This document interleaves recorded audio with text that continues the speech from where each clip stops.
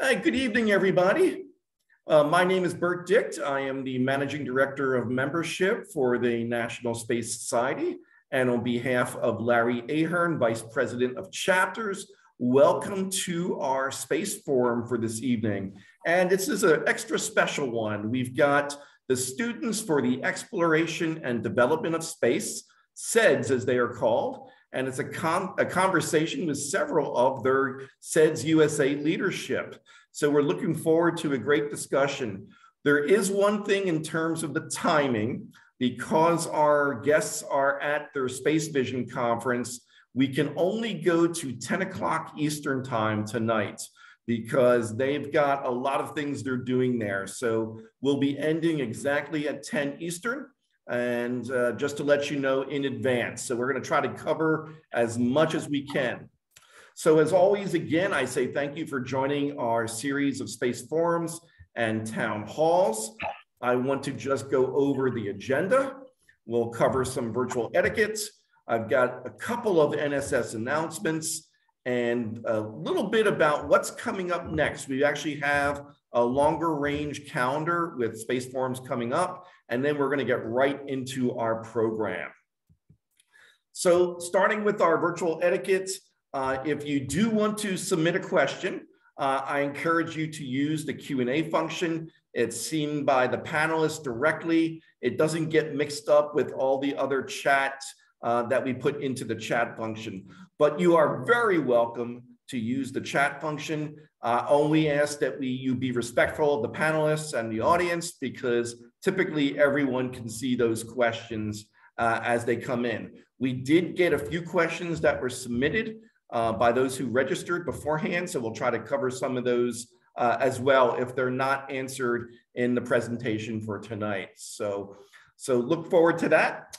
Uh, as always, feel free to give to our cause. We encourage it. If you're enjoying programming like this, like these space forums and town halls, we encourage you to donate to support NSS.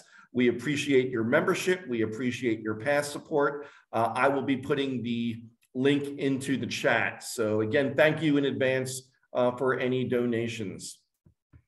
Also at the end, please complete the post-space forum survey. It only takes a few minutes uh, and it'll pop up once you exit. It's anonymous and it really does help us in terms of planning future events. Uh, and the schedule coming up. We've got the schedule now firmed up through the end of February. Uh, once we get into the new year, we'll get back to doing uh, two a month. And coming up next is on the 8th of December. It's our annual year in review uh, with Larry Boyle and moderated by Jim Plaxco. Uh, a lot of things happened this year in space, so I know it's going to be a really fun uh, and informative session. Uh, coming up on the 12th, uh, once we get into the new year, we have a featured presentation by the space ambassadors. Uh, and Jim is going to be coming back. We've got a number of other space ambassadors who are going to be giving us a kind of a round robin uh, look at the different ways for us to get into low Earth orbit, uh, both from a company standpoint and a launcher standpoint and so on. So we've got five speakers coming up. I'm going to be moderating, and that's going to be very, very interesting. On the 26th of January, we have Christina Korp from the Space for a Better World. Uh, Christina has worked with many astronauts over the years, including Buzz Aldrin. She's got an organization called Space for a Better World, which talks about how we influence our young people and get them working uh, to show that space is a way to make the world a better place. On the 9th of February, we've got Bill Bradshaw coming back. Bill actually spoke a couple years ago on, uh, on different uh, space station concepts uh, in popular culture. Uh, so he's going to be doing a talk called 200 Years of Space Tourism, how people have always envisioned and dreamed of going to space. So I think you're going to enjoy that. And on February 23rd, uh, we have the uh, contest winner from our NSS Space, Space Health Contest, which is called a Healthy Space. And Dr. Maria Kumin is going to be presenting her paper uh, as part of that presentation on that evening. So a lot of great things coming up. We're really going to try to work to make sure we've got a schedule that's at least a month in advance so you can better plan out uh, your participation. So with that, uh, it, um, it's my pleasure now to get into our, our, program. Oh, I will say this again, if you have any suggestions uh, for speakers or topics, uh, let myself or Larry know, we'd appreciate that. So now let's get into the program for this evening. And we've got three members of the SEDS leadership here. And let me tell you, I've been doing uh, STEM outreach. Uh, I've done a lot with my jobs at IEEE and ASME, meeting the young people who are going to be inheriting this profession.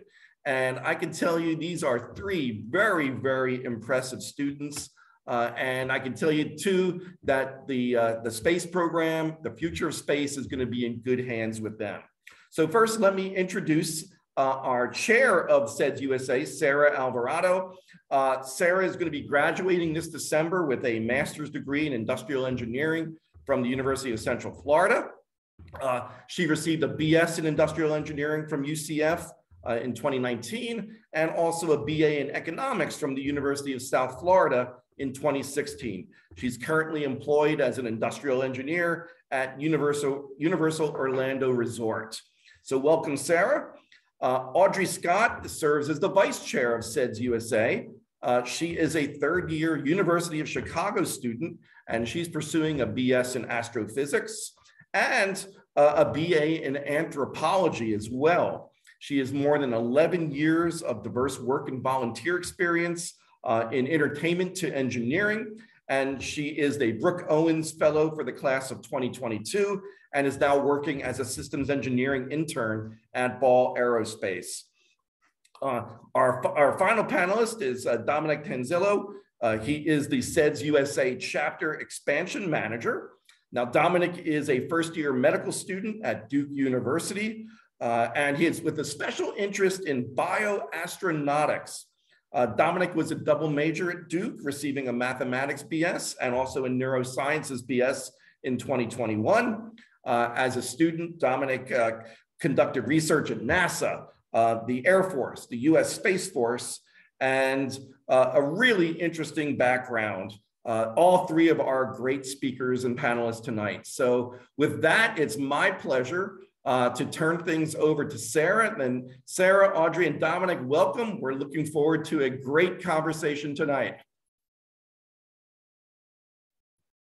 Thank you so much for that introduction. I did want to add that another member of our leadership is here. That's Sunny. He's our DEI leader. Uh, Sunny, did you want to introduce yourself quickly?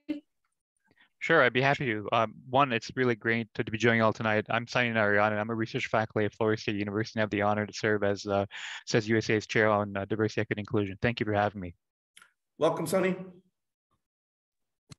Awesome. Thank you so much. So we're really excited. Um, we have a lot in store for you guys. I'll go ahead and get started.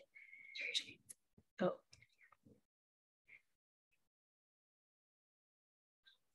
Yep. Okay, perfect. Okay, so we're students for the exploration and development of space. There we go. So we actually started back in the 80s with Peter Diamandis, Scott Scharfman, Rick, Sor Rick Sorkin, and a few others that later went on to create ISU and XPRIZE, which I know you're all familiar with. Our first conference was held in 1982. Um, there's some of the old pictures from back then. And now we've um, moved on to Space Vision, which we host yearly and which we're at shooting from live right now. SEDS is a fundamentally a university chapter sort of organization. Those first chapters in 1980 were founded at MIT and Princeton and other universities before we were able to go national. So all of our roots are in grassroots space awareness. Okay, so this is us now. First, we have a new logo. And second, we've now become an official nonprofit uh, we have about 100 chapters. We're in almost all over half of the United States. This year, earlier, we participated at ISDC, and actually, next year, we will have a stronger SEDS presence by bringing some of our diversity students over. Okay, and then onto our projects. We are involved in all sort of things. I think all of us can talk to some of the things that we're involved in. Uh, myself, as being a finance and industrial engineer, I've been more in the in the finance and fiduciary part of space, but we have students developing uh, regolith, doing research. Do you want to talk about some of the stuff that you're doing? Yeah, sure. So a lot of the work that, uh, and hi, I'm in the dark back here. um, part of the work that Duke does especially, um, and I'm quite proud of it, is basically on the topics of space medicine, uh, a very niche field initially, but kind of encouraging students to look in and explore what that means. For example, that regolith that was just mentioned there, um, we can run uh, basically treat it as lunar or even Martian samples and then see what biological life can grow in it, be that plants, be that fungi, be that some other bacteria, and to really assess the viability of farming or other agricultural products on um, non-Earth bodies do you want to talk about some of the stuff you're involved in? Yeah, so for me, I'm as a astrophysics student, I'm a lot more on the scientific research side of this. One thing that does particularly interest me and a lot of other members of our SEDS chapter is alternative propulsion methods that are linked to fundamental physics. And uh, rocketry is a bit more of what my chapter does at the moment, but we are seeking to expand further into things like instrumentation really connecting with the strong astrophysical legacy that my university has And then from the anthropology side of things, I'm incredibly fascinated by the human presence in space. And it's that same interdisciplinary focus that we've been able to bring a lot more of in recent years with SEDS. Yeah, and I think a great part of us being students is that we remember what it was like to be in high school and middle school. A lot of our chapters do a lot of involvement with the community. I have a picture there on the screen, and you're going to see more of that at ISDC next year. Okay, and you know, before we move on, I did want to highlight our MSI initiative. Our goal for this is to create diverse partnerships and expand our member base in a diverse, uh, equitable, and mindful way so that when we fuel that pipeline into the next era of space, we're doing it in a way that allows for space to grow in all the different sectors some of the things that we've done so far this year is bringing on um, a lot of funding for diversity, minority serving institutions, underrepresented backgrounds. You see some of those in those pictures here uh, of our students that attended satellite and NewSpace. We've also been working with companies outside of what you would usually consider a space company, like Field and Bethesda, that uh, are video game developers and are sponsoring 22 minority serving institution students here at Space Vision. And this is just the beginning. We're very excited about, you know, where we're gonna go next. But I think a great person who can really talk about this is Sunny. Sunny, do you have something to add? Certainly, and uh, to add on what uh, Sara's really uh, eloquently put, uh, myself being a first generation academic uh, from underrepresented background in STEM, um, space has been a industry that had always inspired me uh, and really provided me a lot of uh, fantastic um, professional development opportunities, a way to apply myself and contribute to something that uh, I think is just absolutely spectacular, incredibly cool, and it's also inherently uh, international, intercultural, with uh, the International Space Station being a, a symbol of that.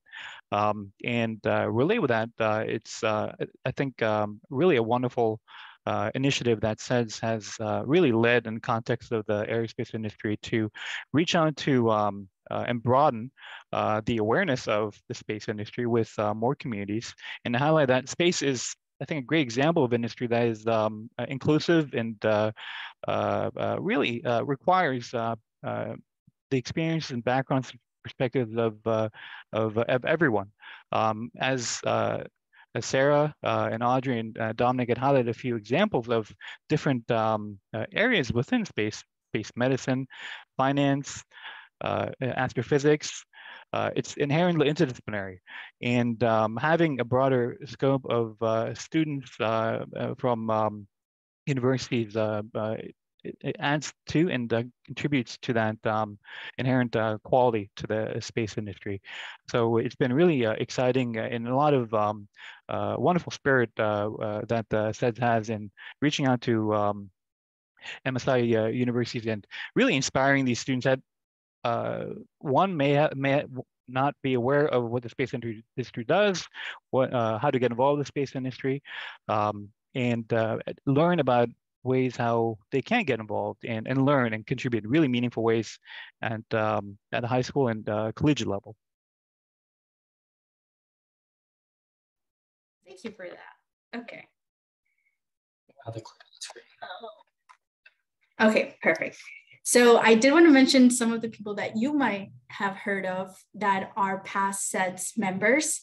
Jeff Bezos was president of his Princeton chapter. He's also been a very active donor for SEDS. He's helped us achieve, I think, a lot and entering into what I call the new golden era for SEDS has been through some of his funding and, and donations. We also have Will Pomerantz, who is on our board of advisors.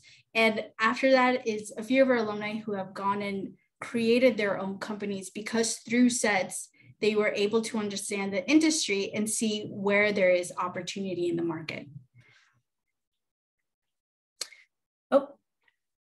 Did you? There we go. Okay. so where will we be? Where will we be in the future.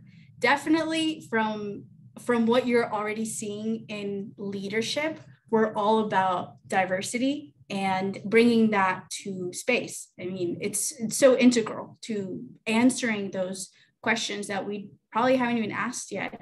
Um, so we're really focusing on the, that MSI initiative and representation wherever we go, wherever we take our students. We want to make sure that it's something that is useful from a holistic approach and um, from there, we're definitely partnering with more interesting organizations. I mentioned our partnership with NSS, uh, but the team that we're bringing, the student team that we're bringing to ISDC is actually going to be comprised of SEDS members, NSBE members, SWE, and SHPE. So you're going to have a very diverse demographic of students, and they're actually all working together to build a CubeSat with the mission of space sustainability. So we're able to bring this science and space to uh, organizations that might not particularly have that experience.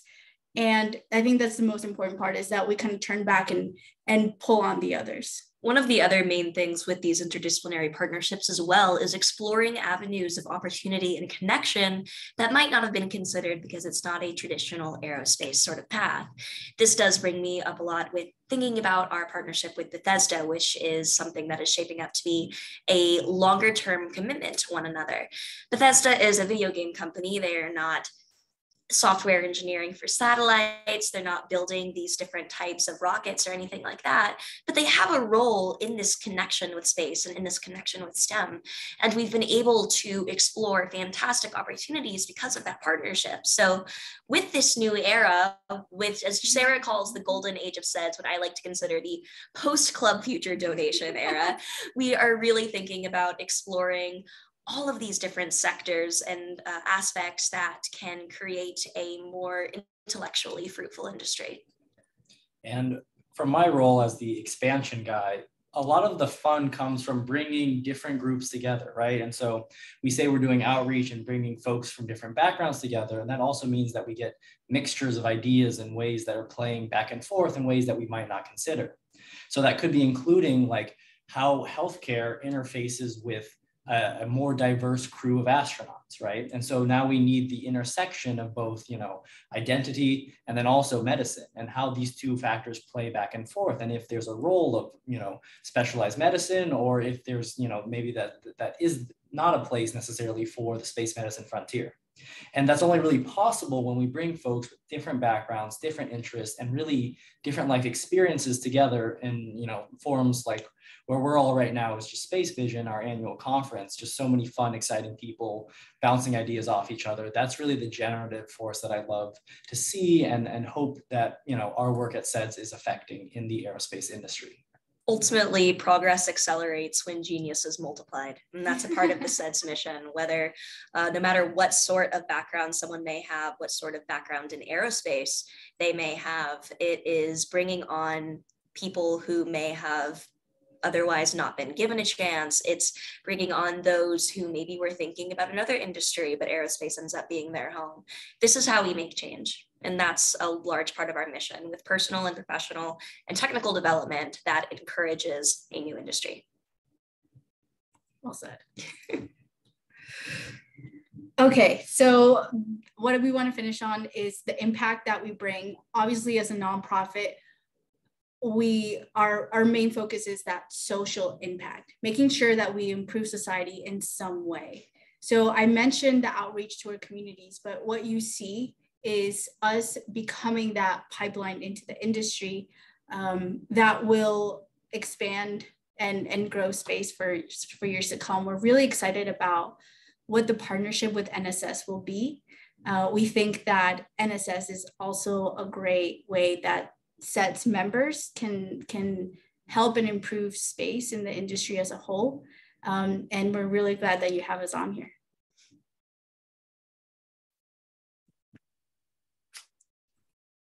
Okay.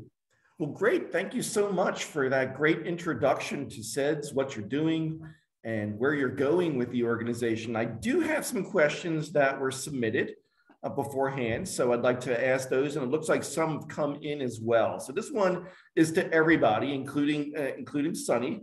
Uh, what got you interested in space and space exploration and development? Whoever would like to go first. I, am happy to start. The question is, how much time do I have to answer? Because there's, there's a, a lot of stories there. Um, for me, it's kind of um, maybe a little bit different than a lot of folks where I was not an astronaut kid. Instead, I was much more of a dinosaur kid. And I think that's where my love of biology and medicine eventually came from. But in working as an EMT, working with Duke Life Flight, which is a helicopter transport agency, I really love talking through the, the basically how the medication and transit management changes as you ascend in the atmosphere, pressure drops, temperature drops, oxygenation levels go away. And, you know, it kind of really changes the way that we think about, oh, treating a critically ill patient. And so that got, then got me thinking of like, okay, can we take this even further extreme? And of course, you know, if you just keep going higher and higher in the atmosphere, eventually, eventually, depend and depending what line you draw it at, but you know, you'll reach space at some point. Um, and so that was kind of the, the avenue that started it. And it tied in nicely that my grandfather was a basically a self-taught engineer who had worked for the Apollo program. So I was kind of finding my way to tap into both that legacy, but then also make it my own with the medis- medical side of things. So I applied, got a NASA internship, and now the rest is history. Nice. For me, I always like space, but I didn't think that my interest, finance, money would ever align to that. And it wasn't until my first SEDS meeting at my university where I sat down next to a history major and we just talked about space. And that's when I knew, oh, I don't have to build a rocket to to be in space. This is crazy. And SEDS at National has really propelled my networking and my understanding of what the industry has to offer. So yeah. Well, I think my journey with SEDS was a bit more along the line of Sara's probably. I was inducted into my local SEDS community through a science fiction writing forum. And um, so basically, the president of the chapter had said, Hey, you like this and you like talking, come be our social chair. So I said, Sure sounds awesome to me. Um, so I organized things like watch parties before I ultimately um, became the VP of my local and then joined SEDS National at last Space Vision. But for me, I think what SEDS really was was a reintroduction to aerospace.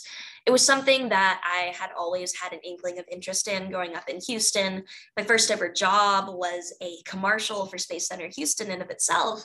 And once I got to high school and I'd left my prior career in the entertainment industry for the most part, I had a really big fascination with aerospace that fizzled when I saw how rigid the curriculum could be at so many schools and institutions. It's one of the reasons why I opted to study astrophysics because I was able to have more intellectual freedom with what I opted for. And science was sort of like like aerospace coming back and calling me up and saying, Hey, how are you doing? You should catch up sometime. And it was a part of that being a part of this community that encouraged me to apply for the Brooke Owens Fellowship. Um, and then when I was interviewed as a semifinalist, it was by a SEDS member as well. So um, really SEDS is community and SEDS is impact in that form. And it's something that I'll always be grateful for.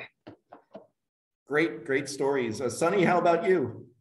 Certainly, for me, it is uh, twofold: stories and um, inspiration.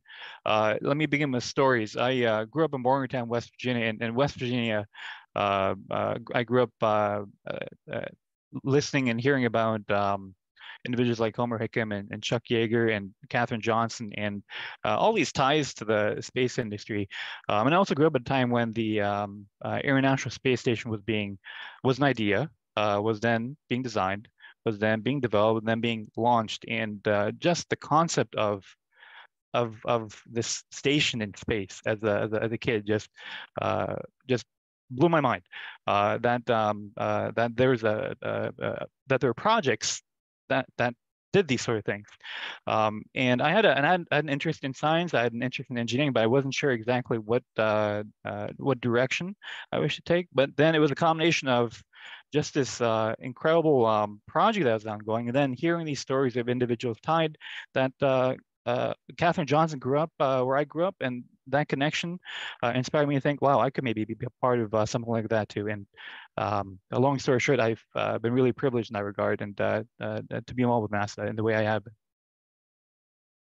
Very good. It's interesting all the different paths that we come from, but we all end up on that same path about uh, about space. I, I, I love it. Uh, so let me get to a, a, few other questions. How can a student uh, join SEDS if they're interested? That would be, um, yeah, that, that's the perfect, I'm the perfect guy for that. Um, so there's a form on the SEDS.org website.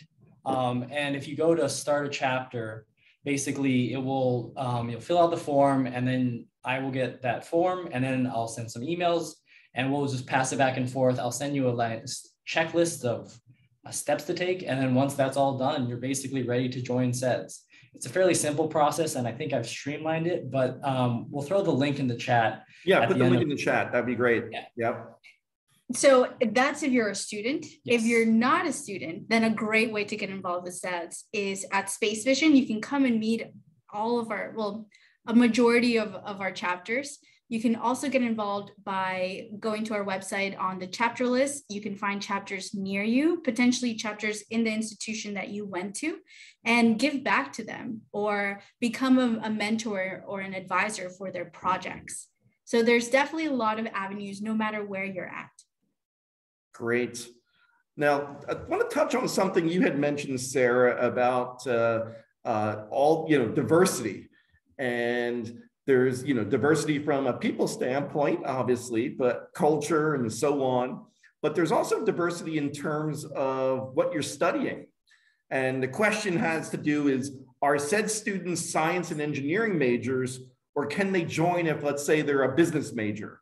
So, oh, yeah. Well, I mean, I'm an economics and industrial engineering major. So, absolutely. And the great thing is, if you are in a school that is, let's say, very into policy, then your chapter is independent in the way that they can create their own curriculum and decide what projects and what they're going to invest their time into. So, an example of this is um, Georgetown yeah georgetown was the school that we took to isdc one of their one of their representatives we took to isdc this year and they presented on the policy initiatives that they've taken um, and and things that they've made happen through their institution.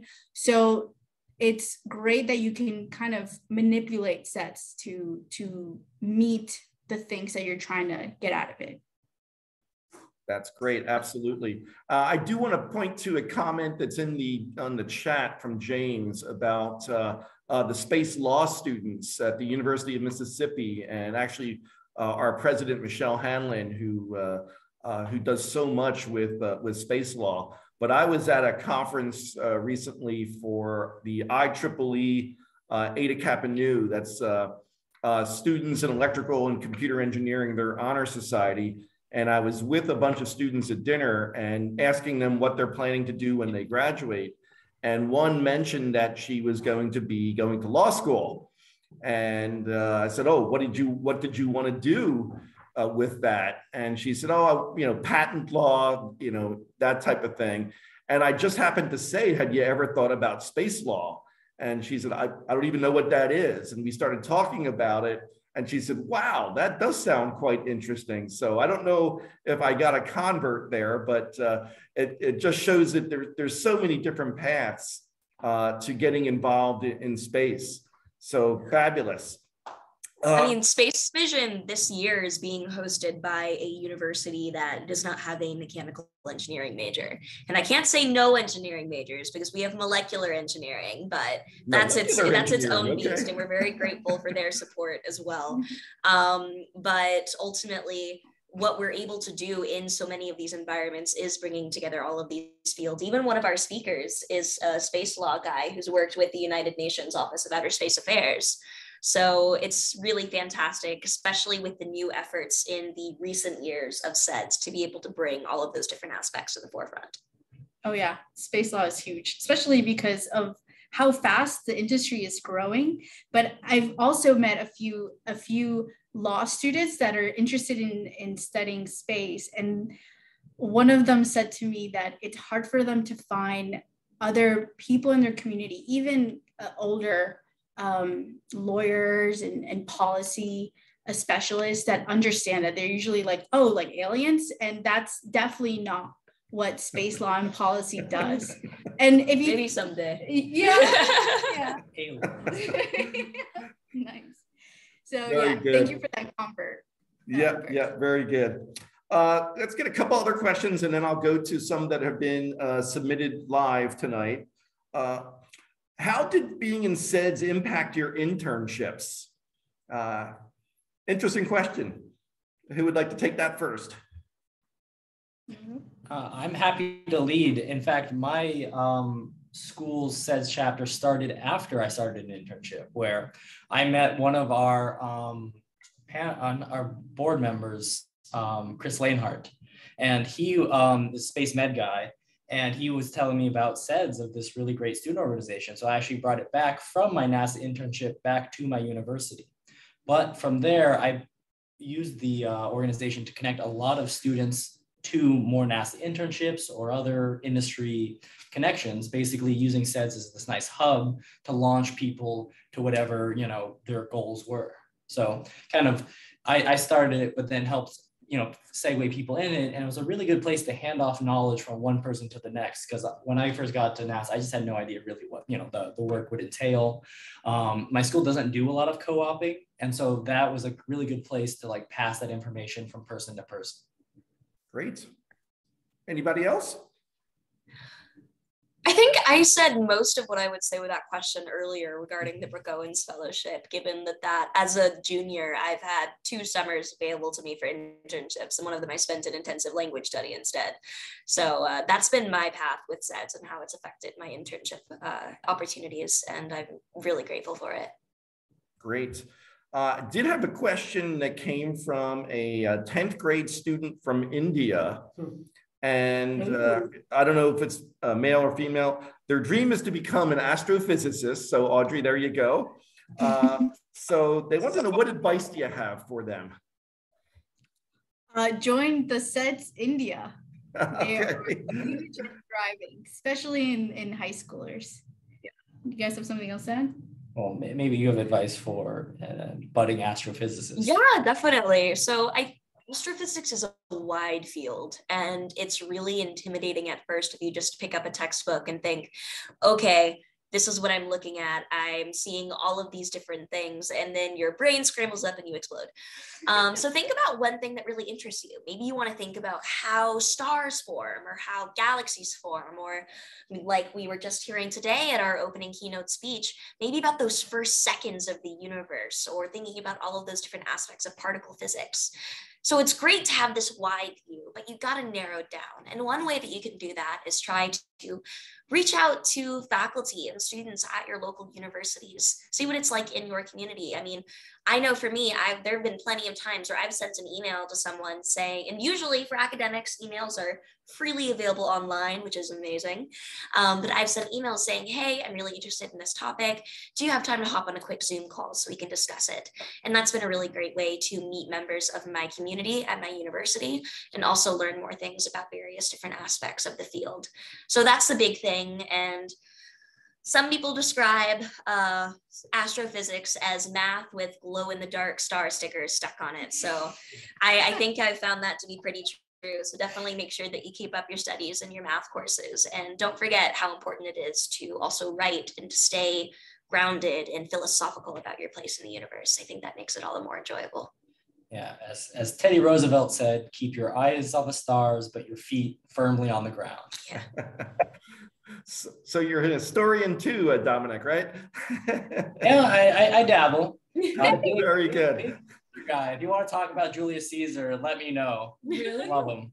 Okay. You're all Renaissance types. Very good. uh, so let me take some questions that came in, and then we'll get a few more, and then. Uh, uh, the students had asked me to make a short presentation on National Space Society, so we'll make sure we can get all of that in. I've got two questions from Carl uh, related to, uh, to space medicine in, in, effect. So I'll start with those. Uh, regarding space medicine, is there any more information concerning the effects of spa the space environment on our DNA? Um, well, Absolutely. There's a really, really great paper called the NASA Twin Study. In it, um, one of my friends actually at um, Cornell basically examined an astronaut that was left here on Earth and an astronaut here on space. And, and let me just say, both men had been to space before. So that's how we established that, you know, we had an astronaut on Earth. Um, but that is to say, they were able to measure their body markers, their biomarkers, which includes metabolic markers or DNA markers among them and look at see what happens over the course of a year in space versus a control subject on Earth. And the really, really exciting bit was that we had some um, DNA modifications, including histone um, and some other kind of like, um, you know, euchromatin becoming heterochromatin or vice versa. But the really, really exciting thing was that the telomeres at the ends of the DNA actually grew longer for the participant in space. And, and that's really fascinating because telomeres are the ends, the telos of your DNA, which is where um, basically they provide the limit on how many times a cell can replicate. And what we actually found is that the cells in space had longer telomeres. And there's a couple different causal explanations why. Potentially, it could be from the higher radiation in space. It could be in changes of diet, fluid shifts, or metabolism. And that's really an open question. But we do know that fundamentally DNA does change in a, in a very real and um, important way when people go to space. So that's the, the quick answer there. But if you want to ask those questions, of course, um, you know, we, we always need more bio, you know, astrobiologists, I should say. That's kind of the, the flip side of, you know, people in space. We also have just organisms and DNA and everything in space. And that's the whole field of astrobiology. So happy to talk more about that later. I'll also add that um, I, I saw Bert in the in the introduction. You're gonna have Dr. Farsadaki talk in I think January or February. She is a great expert in human um, development in space and the limited research that's been done on that. She's actually speaking here tomorrow and she's giving a panel just on that. So more to come to answer your question. Great. And I see there was also a comment from one of our members, uh, Rich Howard, about uh, the studies between Mark and Scott Kelly. Uh, so, yeah. yeah so, so, yeah, so good. Yeah, that was exactly the NASA Twin Study. Um, and you know the the and it's just really fantastic work where there's just you know a host of information a wealth of information to look into. And what's really exciting now is we're actually doing any commercial program we're basically replicating that study and doing biobanks and you know even assays of dna in space. And so that that pool of like resources to study is only growing. And accordingly that's really exciting for anyone looking to get into that field and I think there was a follow-up question from Carl. He's got a few that were in here. Uh, any research being considered involving the use of medication uh, for hibernation for extended space flights? Okay, so this is a really, really exciting because Chris Mason, the author of um, that NASA twin study, wrote a really exciting book. And, and maybe a small self plug, but we talk about said book on my podcast. Uh, the podcast is called Spherical Cows, and Chris Mason was our first guest there. And what was really exciting is we talk about this idea of hibernation for basically a long-term space mission, because wouldn't it really be easy if we didn't have to pack so much food and we can just put someone to sleep and then you wake up and you're on Mars. In fact, lots of lots of movies, um, you know, like sci-fi movies actually, you know, premise that. Um, currently, hibernation is a really, really tough subject to talk about people here on Earth, let alone in space. And so there's a lot more work that would need to be done but it is something that has been floated and would hopefully be maybe a mechanism to get people to do you know uh, one of those ultra distant um, flights you know if we're going light years um, you know maybe you could have someone you know freeze themselves and wake up many many thousands of years later is possible um, how we get there there's a lot more science that needs to be done have you read project hail mary I have not. I, I have been recommended a million times. Uh, Okay. I've been a bit busy with school lately, but you know, this coming break or some break, I'm very excited to read it. And I, yes, yeah, yeah. A follow up to The Martian and a little bit more. Right, sci-fi. I read it. Yes. Yeah, yeah, yeah. So I've heard great things about it. As always, you know, the man does more than enough research on, you know, to make it really high fidelity science. Mark Watney went to University of Chicago. With all that you do, there's no time to read. Come on, right? yeah, you gotta keep up. I, I, I try, I try. Right, right. So med, med uh, school, I don't know if you've heard. Sometimes med school is a lot of work. Is it? I would think so. uh, let's see. Uh, I, we do have a hand up, so let me try to get uh, Larry Ahern, our VP of chapters. Larry, would you like to ask a question? Yeah, I just want to point out that I've been around, you know, this this whole space thing for about for almost four years. And uh, and I will tell you, I've met a lot of these. Uh, matter of fact, you, you brought like uh, uh, uh, oh Brad and uh, what you call it, uh, Pomeroy, and uh, and Diamandis. Uh, they were with NSS a long time ago, but uh, they're also uh, they. Uh, I know uh, how to say this. There's a lot of people that I know are SEDS people, because SEDS has been coming around to NSS for, uh, matter of fact, a lot of SEDS people are, are NSS people. And I noticed uh, a lot of these people end up not going into space, but they're, they're doing a lot of things that are cutting edge, uh, cutting edge. They're nano. Uh, some uh, some of our people are nanotech researchers. Some of these people are. One guy's working in Taiwan. He's probably he's excited about coming back to the United States because they're going to be moving moving his uh, uh, semiconductor stuff back here, and uh, and. so, he, like I said, there's a lot of these people. I think there's, matter of fact, you guys should look it up. I I was been told that there's more than one person that's uh, in our in, as uh, SEDS member and, and uh, served in the Congress. So I just, I mean, there's a diverse future. And the, when I talk to these people, when I see them later on in life, the first thing they talk about is they want to talk about space. They, they're gone everywhere but space, but they want to talk about space, even though their jobs are something totally different. So space is formative for these people. Very yeah, good, Larry. I mean, Thanks. Uh, that, that kind of leads to a, a, a question uh, for you. Uh, you know, there was a question there about, uh, about space history, but uh, who have you met in the space community? It could be someone from our history, someone current that maybe has inspired you uh, in, in, you know, in saying, wow, this is why I want to be in this area. Uh, Audrey, I'll, I'll go with you. You looks like you're ready to answer. I'm excited. Yeah. So I have a few people that I met prior to SEDS and a few that I met after. Um, one person who I always like to give a great shout out to because he's just been such an incredible voice um, and passive mentor in ways is Charlie Duke. I met him in high school at a couple different events, including the Apollo 11 50th Gala in um, at uh, Kennedy, which was actually hosted by Christina Korp, who will be speaking early next year. Um, but Charlie is an incredible, incredible human being, and I'm incredibly grateful to know him.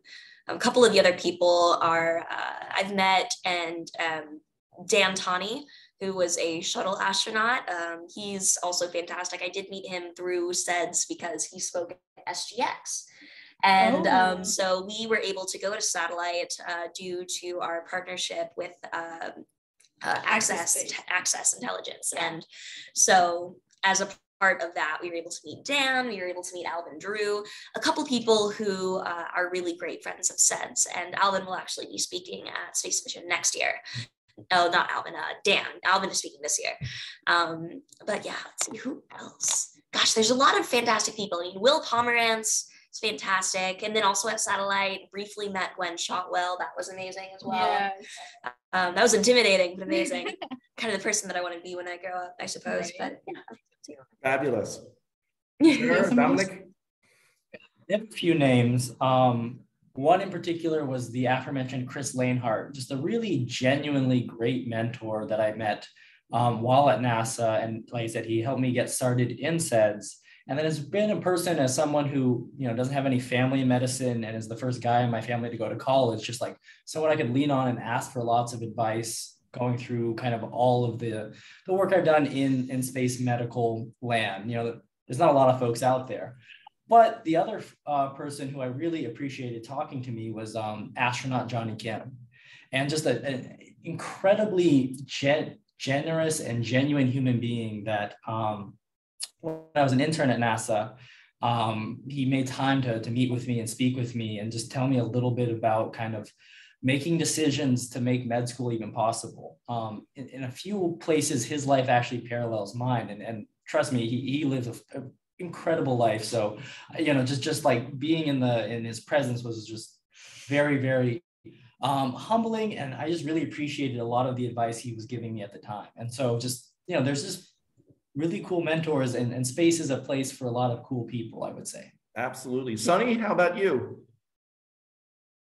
Certainly, um, I had um, many inspirational uh, figures. Uh, one uh, uh, one example would be uh, Jon McBride, um, Captain Jon McBride, um, also from West Virginia. Um, I had the opportunity to meet with John um, while as an undergraduate uh, student, and, and have, being able to communicate with someone that has um, uh, a connection from where you're from, um, and is also in the uh, community, uh, the the profession that you're interested in, um, is is uh, uh, makes it closer to home, so to speak. And then also in the context of um, how I- what drew me to space biology, um, the opportunity to uh, uh, uh, uh, speak with uh, and meet uh, with um, uh, Judy Hayes uh, from NASA Johnson Space Center. Um, she was really the one that um, uh, I had even discovered this uh, field even existed, uh, and uh, uh, where uh, my originating interests were um, in engineering, um, but I had an interest in biology and medicine. So that really sparked that um, reality that this is a discipline within NASA that existed, and what drew me to my um, uh, education post undergrad and where I am now today. Um, and it's in ret- retrospect um, uh, a lot of serendipitous moments but highlighting what um, Dominic, Sara, and Audrey had, uh, had shared, context of the people, the individuals one can interact with uh, from the space industry is, uh, uh, is, is always an interesting conversation, always exciting, uh, always a fascinating connection to make, um, and uh, leads to um, uh, some really uh, uh, incredible uh, different directions. Very good. Well, everybody, we're, we're closing in on our end time. So what I want to do now is just take a few minutes to talk a little bit about NSS for the SEDS students. And then we'll come back and do a final question for everybody. And uh, so let me share my screen again and we'll get that going. Okay, great.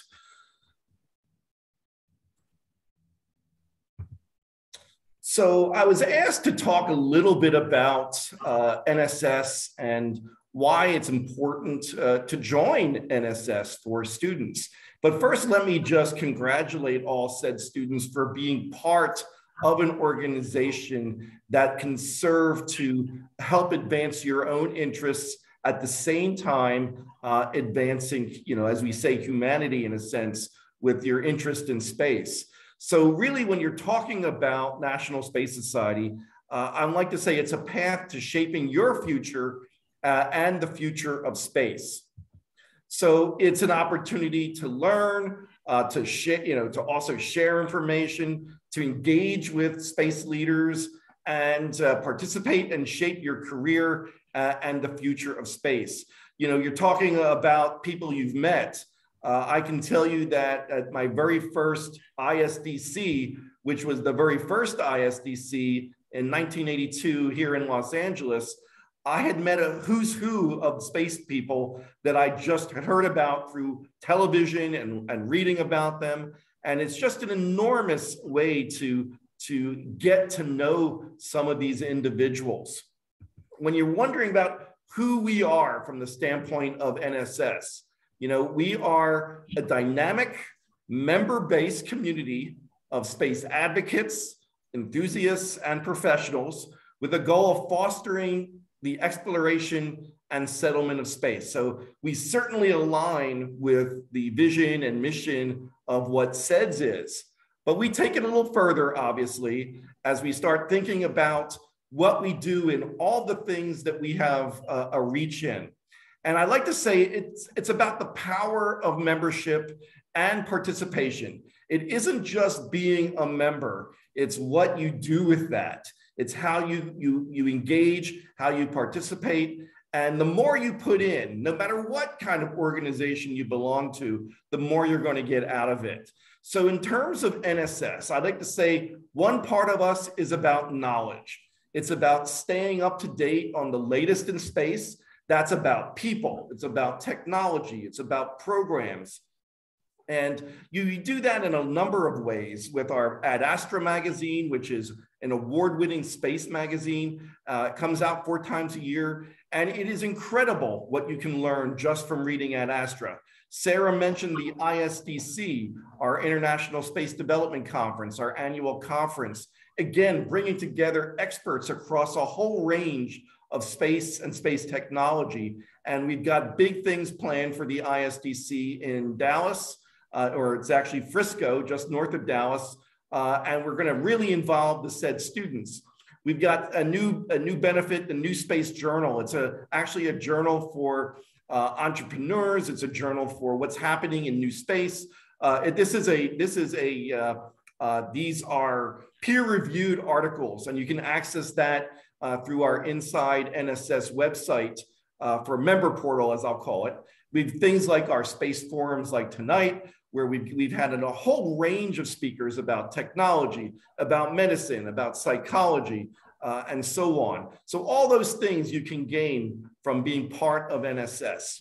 There are also the connections that we've just talked about, meeting colleagues and networking with space leaders uh, and other enthusiasts at our conferences and our summits. I'm currently at the Space Settlement Summit in Los Angeles, and it's amazing what you can learn from talking to some of these incredible people. There are chapters that we have that are locally, geographically based, where they put on activities and events related to space. And you can get a chance to meet local individuals who are interested. We've got a very active new social media presence as well uh, to get people informed what's happening in space. And finally, just again, a range of, of access to uh, all subject matter experts across a whole range of space issues.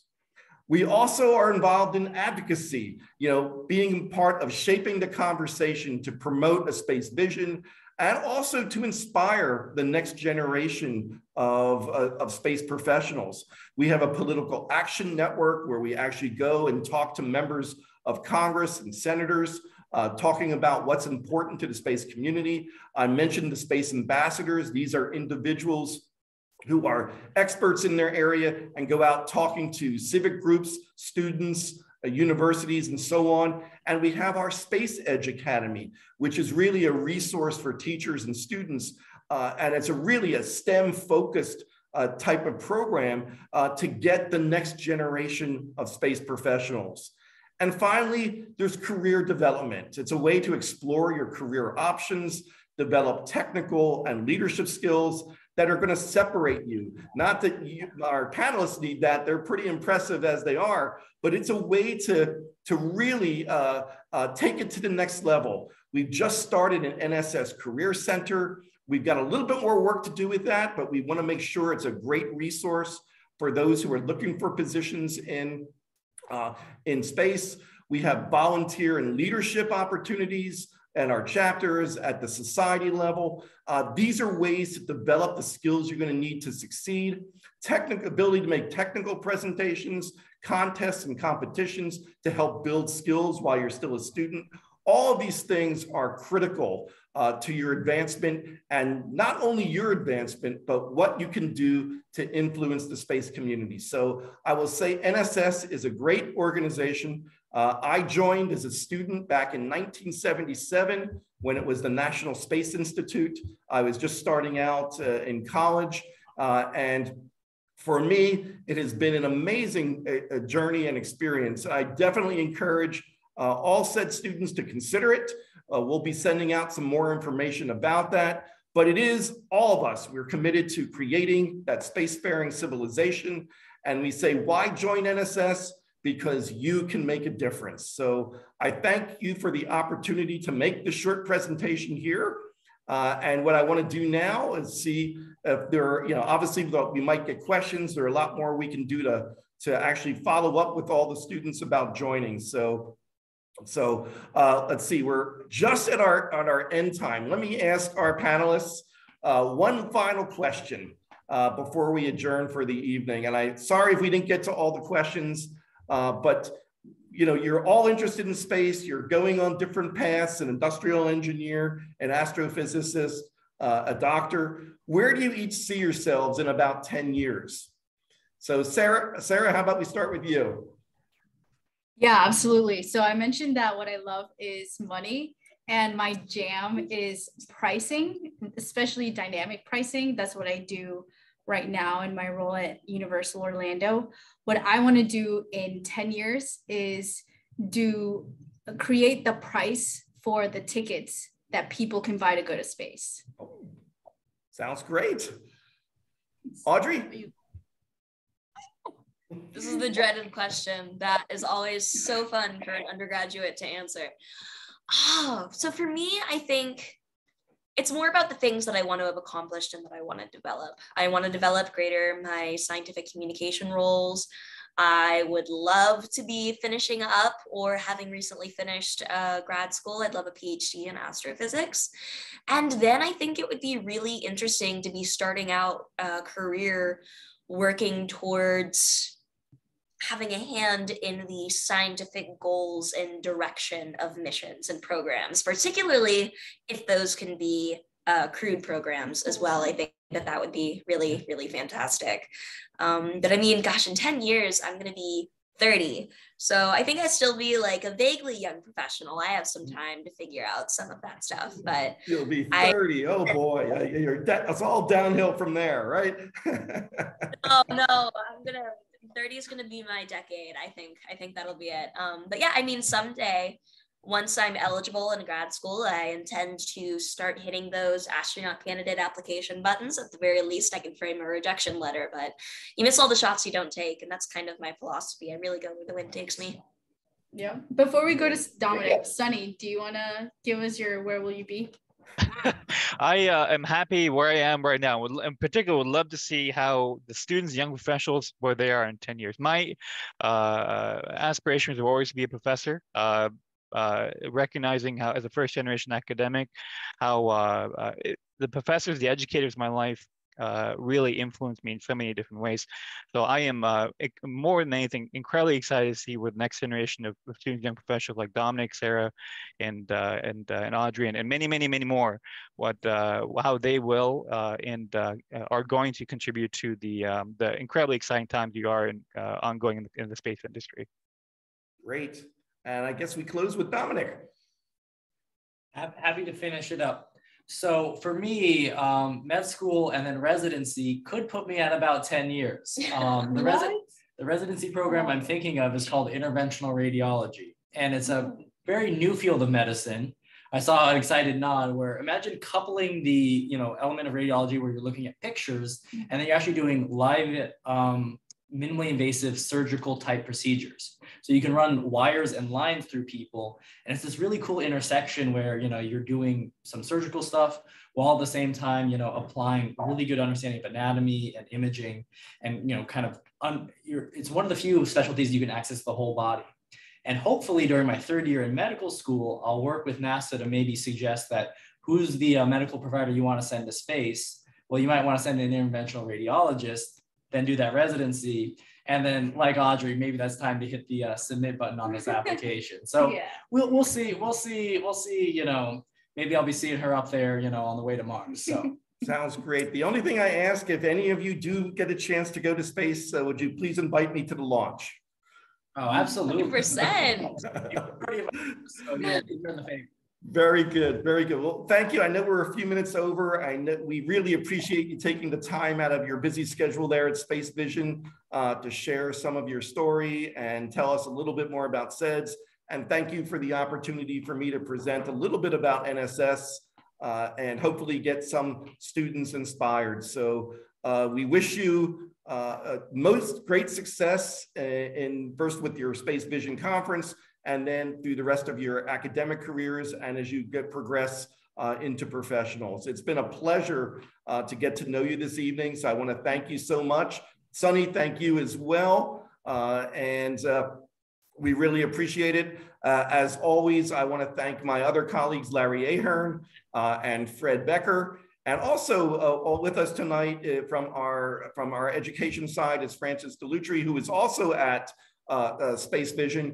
And I've got a colleague here with me. Ronnie, why don't you say hello? Ronnie LaJoy uh, is here with me. There he goes. Uh, uh, former VP of membership and chair of the membership committee. So everybody, so thank you so much for joining us tonight. Uh, for those of you in the new time zone or tomorrow's time zone, wishing you a good day ahead.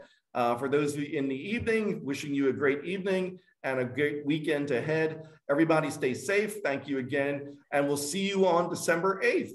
Everybody, wishing you a good night. Good night. Good evening, everyone. Thank you. Bye, y'all. Thank you. Take care. Thank you so much. Bye. And everybody,